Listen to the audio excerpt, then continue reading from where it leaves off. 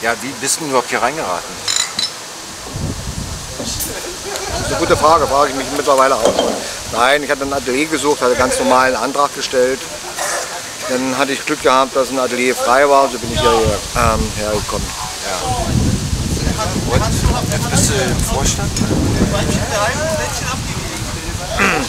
Dann habe ich diesen Verein ein bisschen beobachtet und mit den ähm, Sachen drin, war mit ein paar Sachen, wurde dann auch Vereinsmitglied. Ja. Und hatte ab und zu mal von diesen vielen langen, ewig geführten Mitgliedervollversammlungen stundenweise zum Schluss mit, mit Alkohol, wo die Leute dann besoffen waren, sich nur noch angequillt haben, wo man dann gesehen hatte, dass es ähm, nicht weitergeht, weil man ja auch von außen Drücke hatte und immer noch hat, das ähm, Projekt stabil zu machen und weiterzuentwickeln. Und hatte dann wahrscheinlich die große Küche gehabt und so, dass ich ähm, dann, gesa äh, dann gesagt wurde, ja, dann mach du auch mal was und so ist es passiert. Und was würdest du sagen, wo liegen die Schwierigkeiten? Also, ist ja Schwierigkeiten? Nicht optimal. Nee, ist es auch nicht. Man hat, ähm, was ich sehr gut finde, ähm, den Anspruch, dass man sich ähm, selbst verwalten will. Und dann ist es so, wenn man 10 oder 100 Leute hat, hat man in der Regel 20 oder 120 Meinungen. Die muss man ähm, äh, zusammenführen, ähm, in der Regel den kleinsten gemeinsamen Nenner finden, so dass es weitergeht. Und dass auch die Umsetzung der Meinung muss äh, auch in einer gewissen Art und Weise ja auch ähm, realistisch werden, weil dieser Verein, auch wenn er äh, er steht auf eigenen ökonomischen Füßen drin, aber die eigenen ökonomischen äh, Füße oder Basis sagt ja auch aus, dass äh, äh, einige Sachen bedient werden müssen, wie Miete, wie Versorgungskosten, Strom, Gas, hat man nicht gesehen.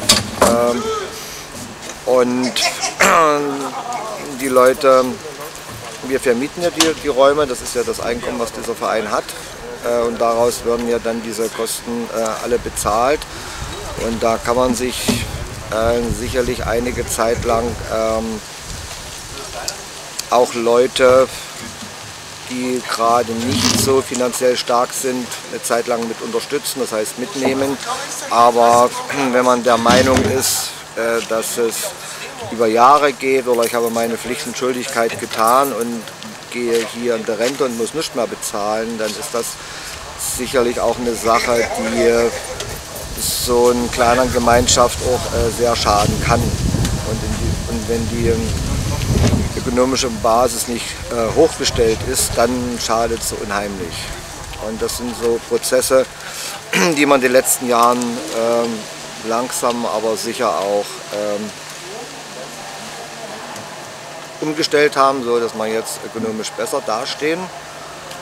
Und das sind natürlich auch ähm, Sachen drin, wo äh, einige Leute unzufrieden sind mit so einem Verein und dann auch ähm, nach außen dann sagen, dass der Verein äh, blöd ist und weil sie selber eine andere Traumvorstellung haben. Aber das sind Traumvorstellungen, die kann man hier auf so einem Platz ähm, nicht nicht verwirklichen, auch wenn ähm, der Verein in der Lage gewesen wäre, das Gelände zu kaufen, hätte er genau diese gleichen äh, Mittel. Und das ist ja, und das sind ja nur die geringsten ähm, Sachen. Wir wollen ja nicht äh, wir gehen ja nicht mit in der Gentrifizierung mit, dass wir ständig unsere Mieten erhöhen, damit es uns besser geht oder einigen aus diesem Verein besser geht. Das ist ja überhaupt nicht der Sache. Ähm, hier wird hauptsächlich äh, ehrenamtlich gearbeitet in diesem Verein. Und das muss man aber auch verstehen. Wenn man ehrenamtlich arbeitet, macht man sein eigenes Projekt, setzt man ein bisschen in den Hintergrund drin, weil man einfach die Idee, den Traum, die Vision hat, dass es hier weitergeht, dass man hier was mitgestalten kann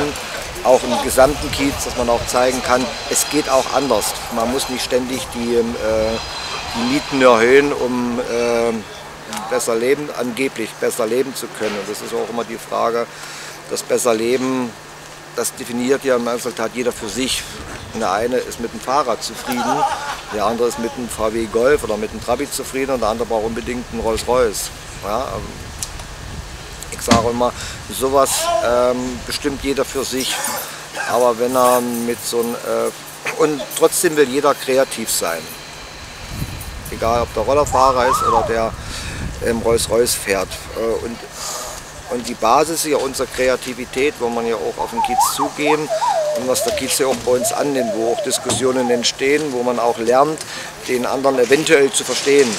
Aber zumindest, dass man auch diskutiert und dann vielleicht der eine oder andere auch nochmal drüber nachdenkt, hey, ähm,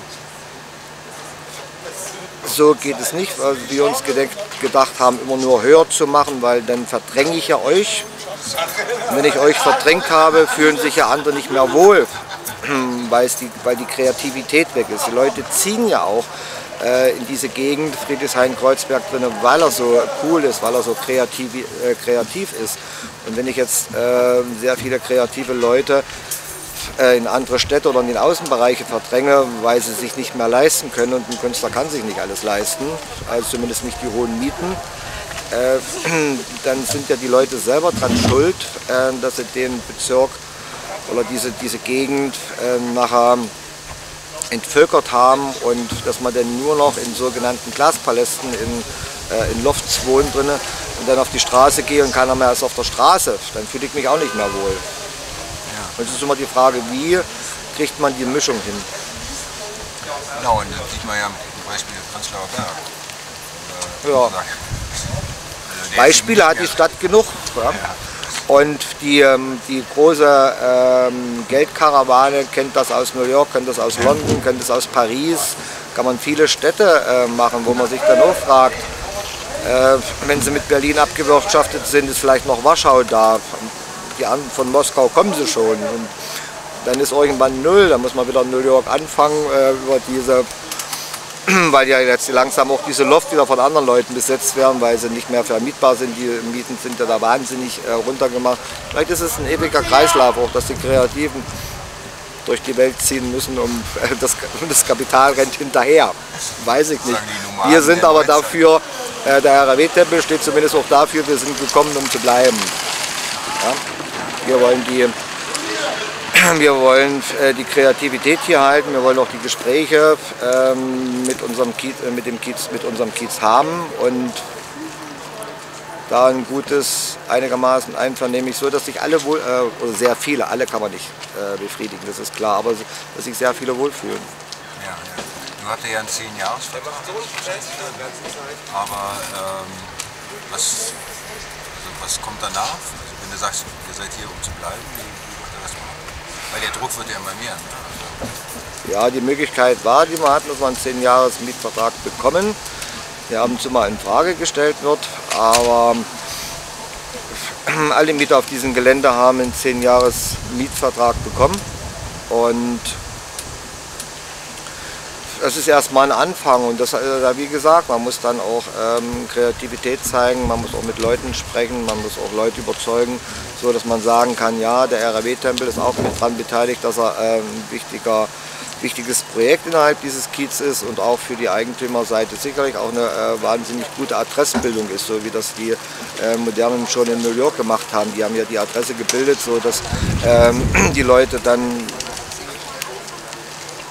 unter vielen äh, Mänteln angefangen haben zu modernisieren, bis sie dann alles verdrängt haben. Und ich meine, jeder hat in den letzten 15 Jahren daraus gelernt. Und vielleicht gelingt es uns mal hier, dass man sagen kann, ja, hier ist eine, eine gute Symbiose entstanden und wir bleiben. Es ist ein Traum, es ist eine Zielstellung und dafür sind wir offen, dafür kämpfen wir, dafür arbeiten wir. Das ist mal ganz einfach.